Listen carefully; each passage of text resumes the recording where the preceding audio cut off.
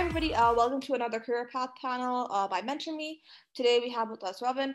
Sure. Uh, so just a little bit about myself. I'm from Surat, India. I joined TISB in sixth grade.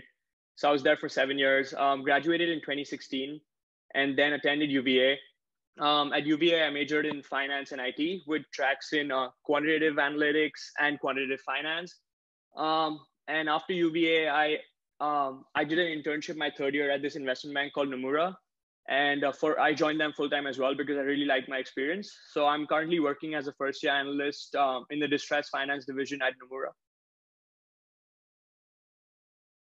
So as I mentioned, I'm on the distress finance team. So in my third year during my internship, uh, I rotated through agency mortgages, uh, equity derivatives, and distress finance. Um, and distress finance was the one desk that I liked the most. So when I decided to join full time, I decided that this was the one thing, uh, this was the one desk that I was for sure going to choose. Um, overall, most of the work is investment banking type stuff. So you you analyze companies. Uh, you start from scratch, basically analyze the history of the company, then do some financial analysis, uh, more qualitative analysis as well. But uh, that comes in more with the history of the company. So I think the point is to figure out why does the company need to exist in the first place, and how does the company make money. Um, based on that analysis, you then build financial models, including valuation and cash flow models. Um, once you have all that ready and you've done some industry analysis as well as some other bigger type broader analysis like political analysis economic analysis and how those kind of things will also affect the company in the future um, you then do more in-depth credit research in terms of when you invest in the company how, what's your return going to look like. You, so you try to figure out you do monte carlo simulations to figure out what the downside will be because as credit investors we know that the upside will be just getting our money back at par with interest. But then we have to analyze all the different situations in the downside. So i would say most most of my work as an analyst is a lot of in-depth company and industry research um, and in preparing pitches which i then present to the senior management as well as other cross-functional divisions of nomura which includes like risk and other kinds of like securitized products and other divisions. Yeah so i wake up at around 7.30 um, i read some news. Obviously financial times wall street journal try to catch up before the market opens at 9.30 um, then uh, work starts at 9 we usually have our morning meetings um, then till about 10 and then after that everyone starts at their own pace. So basically um, everyone knows what they're doing. So some someone for example one of my colleagues will be researching the car market. I might be doing some other sort of research. So we start on that basic research um, then we get together for different calls throughout the day because our research basically supplements each other's so then we educate each other on what our, our research was, what were the key takeaways, um, and then move forward from there. Then we have uh, calls throughout the day with senior management as well as our managing directors, who then like let us know like what other deal is coming through. And um, some days are really like not that busy. Uh, it all depends, but given like given the situation around the world right now, and because I'm in the distressed finance space, COVID has made it really busy right now. So most of the time we're working on two to three live deals at once. So it's a lot of different things going on throughout the day. And then we have some other calls with like uh, the other divisions of the firm. And uh, some, once in a while, we also have calls with the company management. And that's them explaining what, what exactly do they want from us and how we can help them. So yeah, mo- most of the time it's like conference calls, research work. Uh, and uh, I would say that obviously, given that we're in this virtual environment now it's it's obviously very different. And to be honest I, even i haven't haven't haven't experienced the office life like firsthand now. But yeah i mean it's it's much better than i thought. Like i mean i thought the virtual experience would be like uh pretty horrible but i think it's pretty good. Overall they've the companies have done a really good job of making sure that everyone is involved staying connected and basically be able to do the same work virtually that you would do in an office Sure. Um, so in IB itself, I think the foundation was sort of laid. Uh, when I took like Econ HL, Math HL, I always knew that I wanted to do something in business. And my family also has been in the business industry, like in the textile industry for like 20 years. So I, I for sure knew that I wanted to get into business, but didn't know what exactly. So going into UVA, the best part was that they have a two-year business program that only starts in the third year. So the first two years, everyone goes in like undecided. So there's no pre-admits. So everyone goes in undecided. You take the prerequisite courses, and then based on your GPA and your co-curriculars, you then apply to the business school in your second year. And uh, so luckily I got into the business school. Um, I did well in my prereqs, but I also was involved in a lot of other clubs. Um, for example, the sales and trading club, um, as well as the investment banking club. So those kind of things also help you sort of understand, even though at that point, like you don't know what exactly is happening in terms of like all these complicated financial models, but at least you're going and attending those meetings. So you're trying to learn from your seniors who are already in the business school and know what's going on.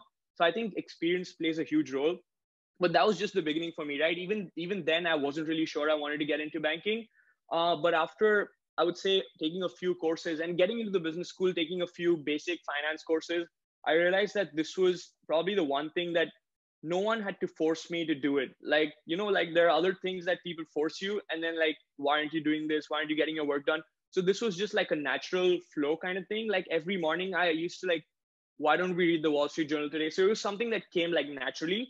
It wasn't someone forcing me to do it. So i think that played a huge role.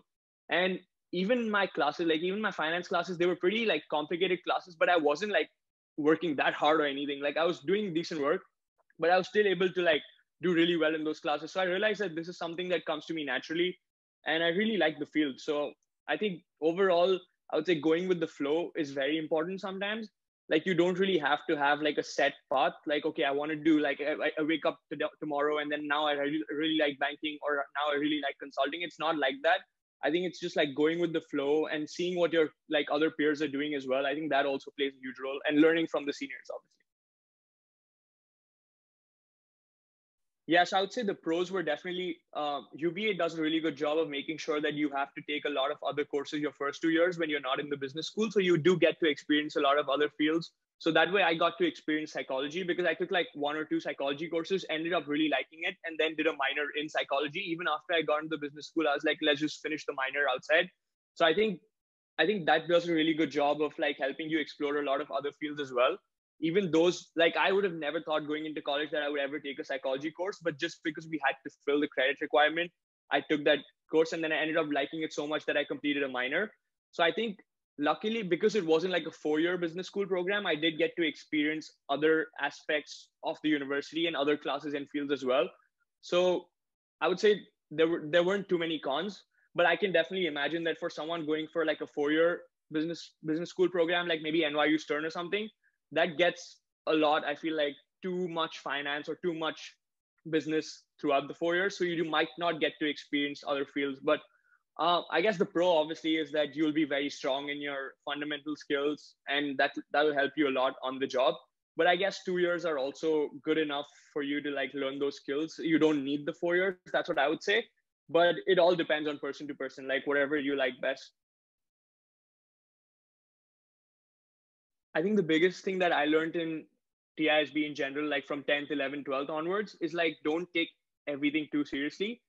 I feel like you like people really need to chill out and like they get too stressed out about like stupid shit like oh I didn't get into Cornell for example. I feel like all this stuff five years, six years down the line, if you're doing what you like, everyone will end up at that level. So you don't need, really need to be worried about like the smaller things that happen around you in 11th and 12th like just go with the flow and enjoy the classes that you're taking i would say if anything try to find maybe like a broader field or even if you can't find something that you like find things that you don't like. So at least you can start eliminating things. Like okay i don't like law. I don't like physics. So you can start eliminating things. If not find like what you like. At least you'll know that okay i don't want to do this.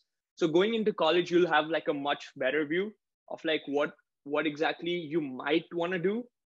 At least you've eliminated like 10 8 to 10 options. So it'll be much easier to find like what you like that way. But i would say 11 12 there's really no need to think about like a career path in general just like enjoy tisb enjoy staying with friends like like four years down the line you realize like how you really miss those days now because like once you're on the job it's just like a regular grind. So there's you don't really get to spend that much time with friends. So enjoy the tisb life. Don't take everything too seriously. Just go with the flow. And in the end i think if you if you find what you like everything will work out. It doesn't matter what college you go to what your gpa was or like as long as you wake up every day just like liking what you do you'll be fine. That's that's what i would say. For me probably it would be just i realized from tisb like even the basic business courses in tisb teach you how important like fundamental skills are and how important common sense and like how how underrated common sense is. So I think TISB does a really good job of like because in staying in a boarding school for people at least like who are in the boarding school, they get a really good experience of everything, like not just academics. But then I think that really teaches you how life works and how the world works.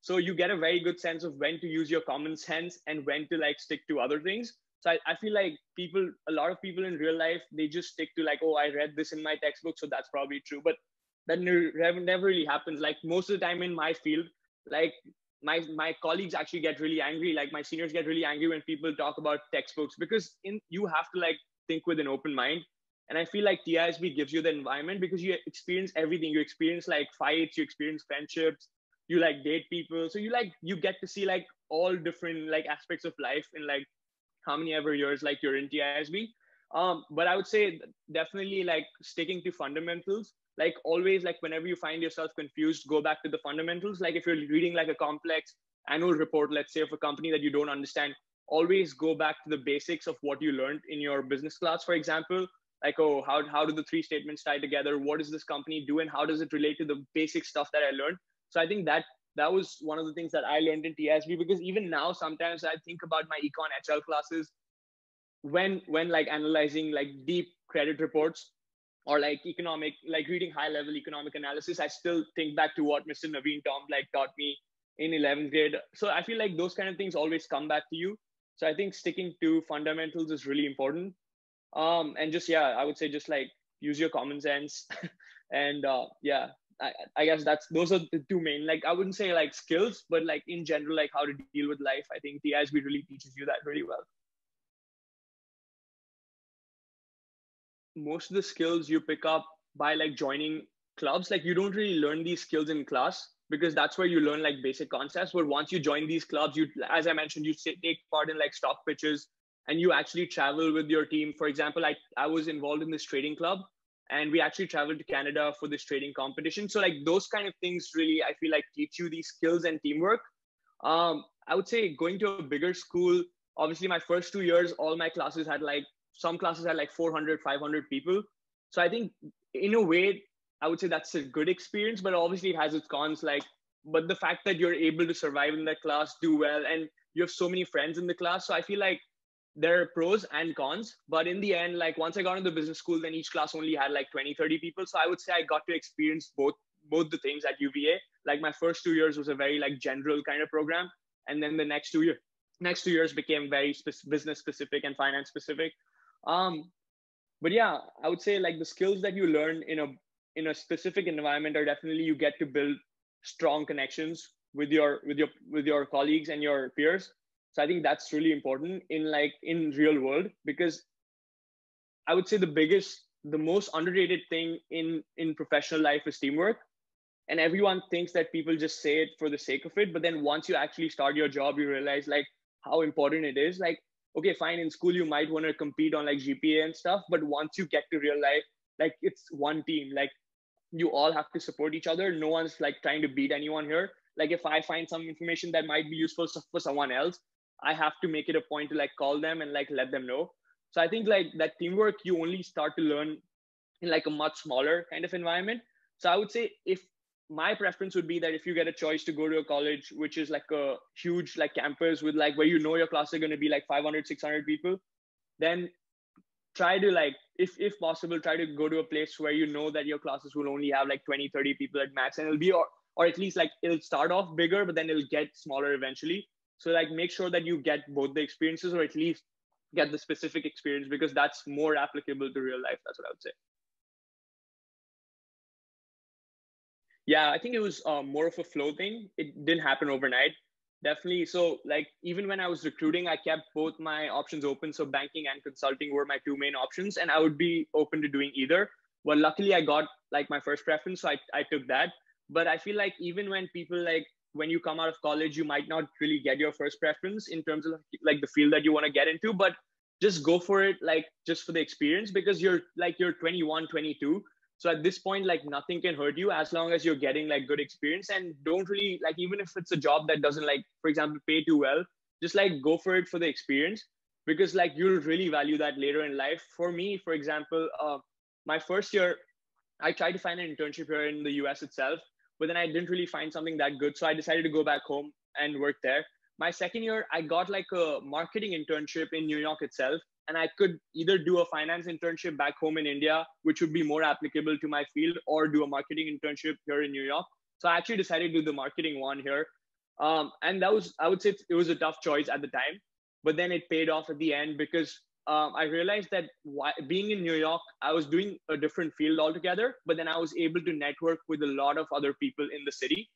So you might not really like, sometimes you don't see the blessing in disguise, right? So I think that was, that was one of the experiences that I had. And slowly, like, I think your classes, your internships, your peers, I think play a huge role in influencing your career path. It's not just, I, I don't think for anyone, it's like an overnight thing where you just like wake up and you're like, okay, I want to do this so you just go with the flow whatever you get just like embrace it. And don't don't be too worried about like if you don't get something that you don't like just like take it for the experience and in the end you'll value it. Uh, that's what i would say. Sure. Um i think teamwork definitely as we mentioned is very important. And i think uh, a lot of people say that oh iq is super important. Definitely in any field iq is one of the most important but then people also don't talk about eq which is equally important. Because iq will get you the job you will do well as a junior, but then you only progress in the organization when you have EQ as well, because you need to connect with people. You need to teach your juniors. Because right now, like very soon, I'm going to be start uh, recruiting people like first year analysts and reviewing resumes. So I feel like those kind of things like EQ is very important for that. Because yeah, you can just like sit in front of a computer and do as much quantitative analysis as you can from whatever statistical class you took. Like you know that stuff, but then getting out in front of people, participating in like different panels, for example, reaching out to colleagues. Like when you don't understand something, I feel like this is also very underrated. People don't understand the fact that you have so many resources around you, but they're just like, they're just afraid to use them. Like they always think the best solution is like just Google it, but that's really not the case. I feel like a lot of the times, like another person right next to you can teach you that concept in such a like in such a better way that you'll remember it for the rest of your life. And i feel like google definitely like gives you the definition and stuff but you don't really get to experience that like one-to-one interaction with the other person. So i would say definitely like reaching out to colleagues is very important very underrated. Teamwork and how to actually be a good team player is very underrated. Um yeah and i feel like these are these are the two main skills that will help you progress in any organization. Doesn't matter which which industry or like what role you start at like you will progress in the organization if you if you have a, like a good iq as well as eq sure um, i would say for me the biggest benefit was that it gave me a good break from all my hardcore like finance quantitative classes. It gave me a really good break to go into like a totally different field and like not do any math for like a few hours. So that was really nice but i would say that more more importantly definitely i think it gives you a much broader experience. As i said like in the end like you need to be smart about how the world works and you need to be street smart. And i feel like just doing one field or just doing like for example math does not give you that. So i think like for me i found luckily for me i found that psychology actually plays, plays a huge role in finance as well. For example like basically everything in the economy works on game theory and psychology too. For example the stock market so i feel like those kind of things connected and i, I was able to see those connections very early. So i think that helps but i know some of my friends who went for like completely different like minors altogether that had nothing absolutely nothing to do with their field. But i feel like they also really like enjoyed the experience because they said it gave them a really good break and it, it gave them an experience to learn something different. So just in case maybe like down down the line they realize that they want to do a master's for, for example but they don't really like the field that they majored in so they can always try to pursue a, a master in the field that they have a minor in because i know that some colleges allow you to do a master's in that field even if you had a minor as an undergrad. So i think that opens up a lot of your doors for the future as well. So it's not just about like in the moment you get a good break but then in the future like you can always keep that door open.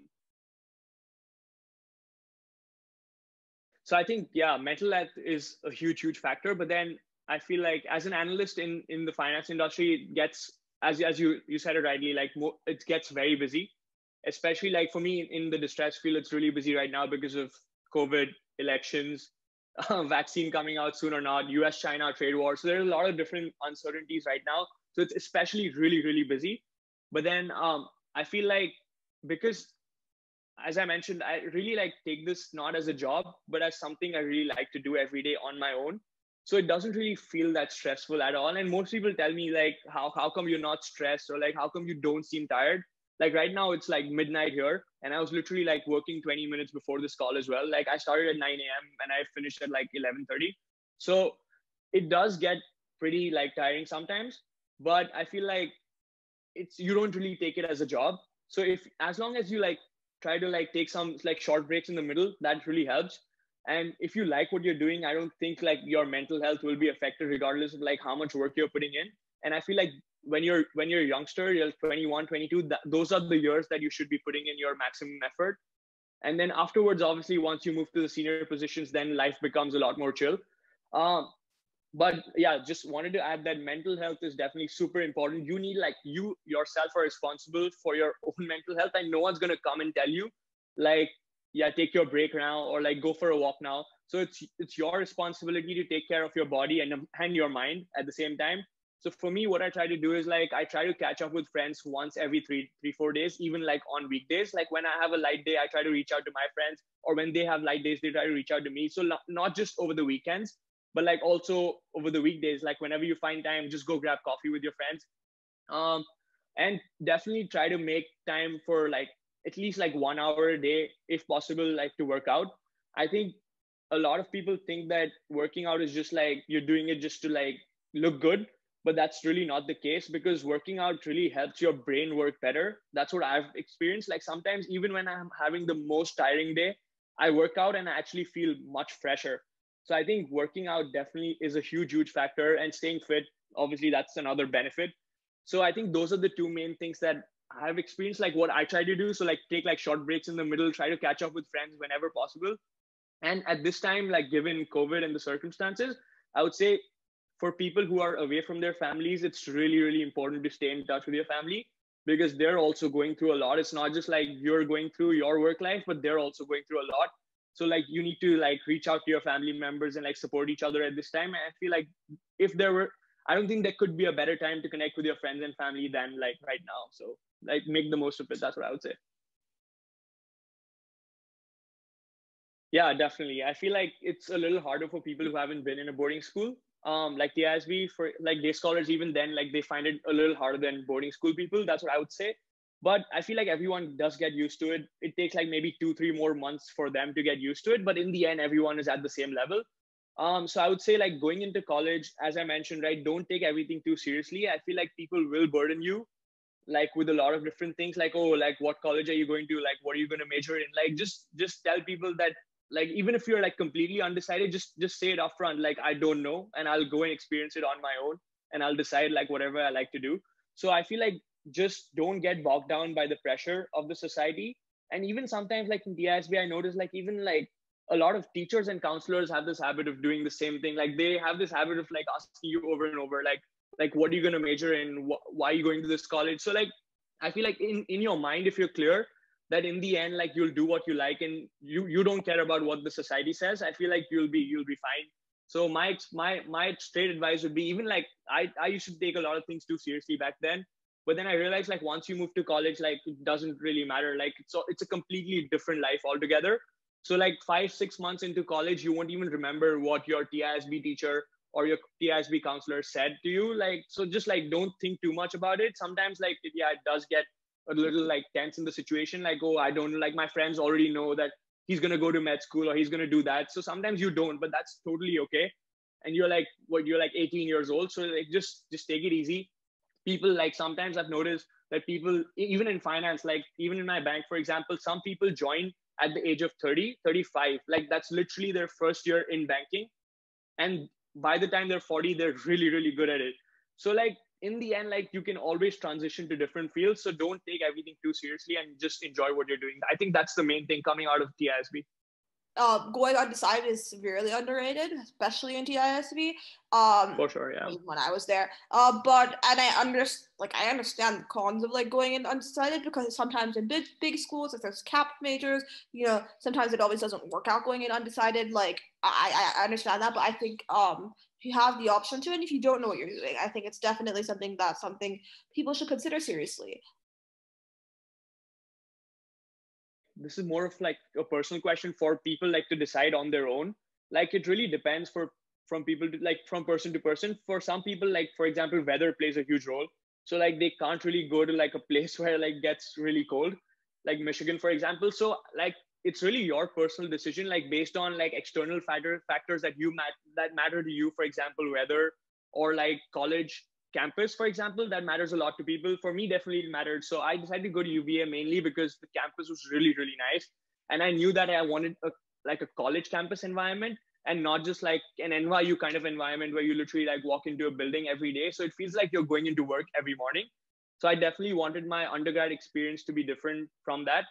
So I think like I would say sit down with with yourself like 10 15 minutes and think about like like most people don't think about these things right? But like just sit sit by yourself just like think about what factors actually matter to you in deciding a college because a lot of the times you'll find that these small small factors play a huge role. And in the end like i feel like any coming out of TISB, most people go to like very good colleges. So in the end you'll be fine. Just, just make sure that whatever factors matter to you for example weather or like campus like make sure you account for those and then you, you'll be fine like in terms of academics i think everyone every college will get you to the same level in the end as long as you're you you're good at what you do that's what i would say uh, especially for people who come to us it gets a little difficult, especially the first two years, to find like a good internship. And given like how strict these guys are being with their like immigration rules and stuff, it's only gonna get harder. So my advice is like just keep all your options open. Um, even other countries, like if you get a good opportunity, let's say for example in London, so like don't don't like refuse it. Definitely keep it open. And um, I would say go with a very like open mind like first two years just expect to get like no good internship that's what happens to everyone in college like no one gets a good internship your first two years but i would say definitely prep a lot for your third year internship because that matters a lot especially in like the finance industry that that's probably going to be the most important internship because that's what's going to lead to a full-time job so as i mentioned right when i was doing the second year like my second year when i was doing that marketing internship here in new york i spent a lot of time outside of work networking with other bankers here in new york and learning about their field. So that's what further helped me realize that I, this is what I wanted to do. But it also gives you more time to prepare for interviews of your third year internship because usually banking interviews start actually one and a half year before the actual job. So I already had my internship, third year internship offer letter before I finished my second year internship.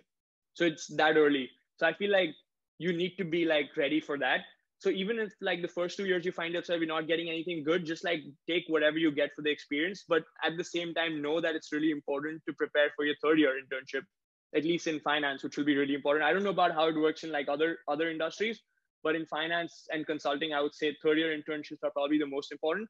And even in case like for example something happens you don't really like even in your third year you don't know what you want to do like that's totally okay. You can always just go for full-time recruiting which is going to be a little harder. But as long as by then you've figured out like what is it like what it is you want to do at least like a broader level idea like okay i want to do marketing for example like at least you'll know like like what you're interested in.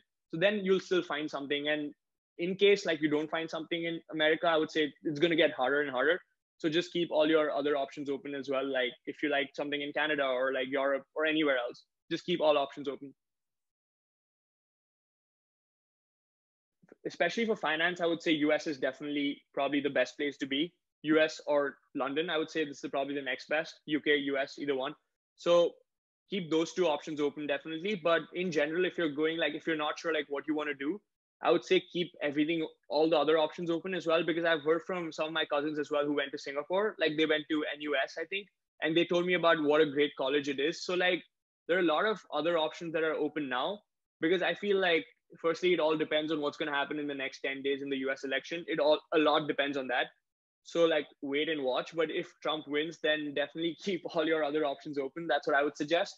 Um, because you never really like these these kind of political things you never really like can predict like coming in for us like we didn't know like 2016 election was like who's going who's to win right so we came in thinking yeah like us is to be like pretty easy to settle down even after but i feel like when you can't predict these kind of things, it's better to just go with an open mind and keep all the other options open. I know some people who just apply like all 12 colleges US which is a very stupid thing to do, honestly. So like at least keep like two, three other options open. For example, one in Canada, one UK, or something like that, just in case there's some like policy issue with America. You can always like go to these other places and and try to explore the options there.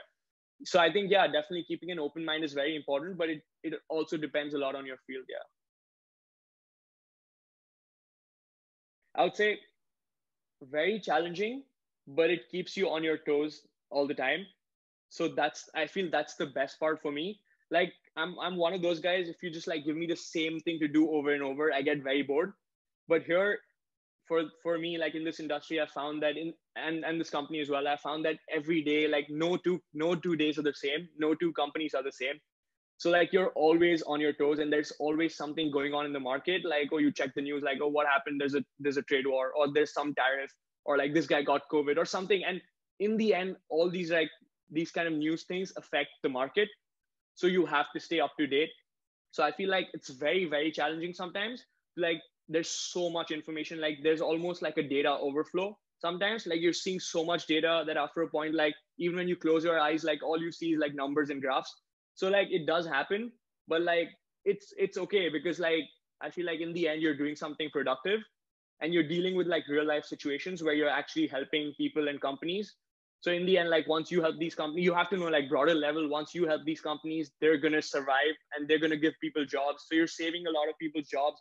You're helping the economy as well. So i feel like once you know that from like a broader level view like you really like what you do in the end and your work is meaningful i think that's really important.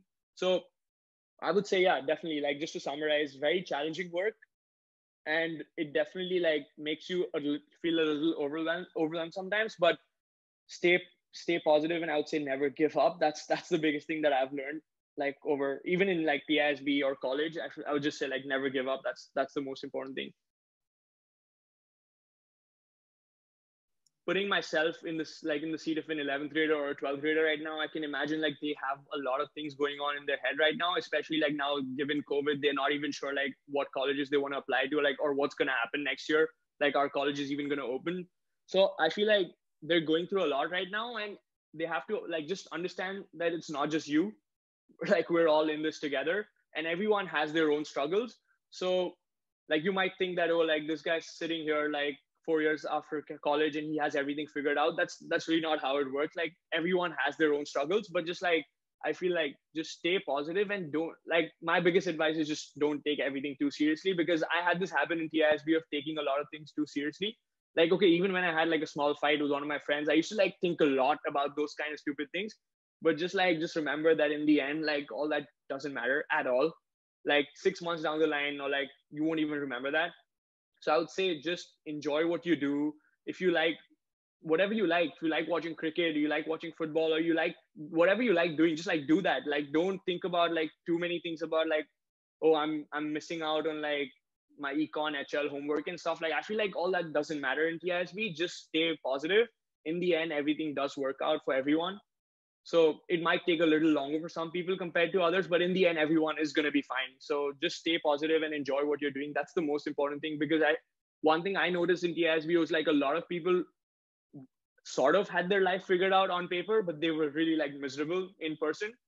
So don't be don't be miserable. I would say just enjoy every second and in the end it'll all work out. That's that's all I have to say for 11th and 12th graders.